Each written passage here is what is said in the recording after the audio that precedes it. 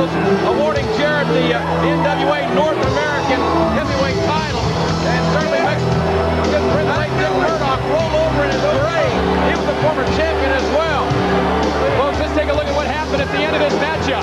Well, Barry Windham was in control, and then Cornette comes in and drilled with the tennis racket. I gotta say, something doesn't smell right with this whole deal. But there's the champion, proud as he may be. And there's the strut that we've come accustomed to by Jeff Jarrett. Uh-oh. Look out, Oh, no.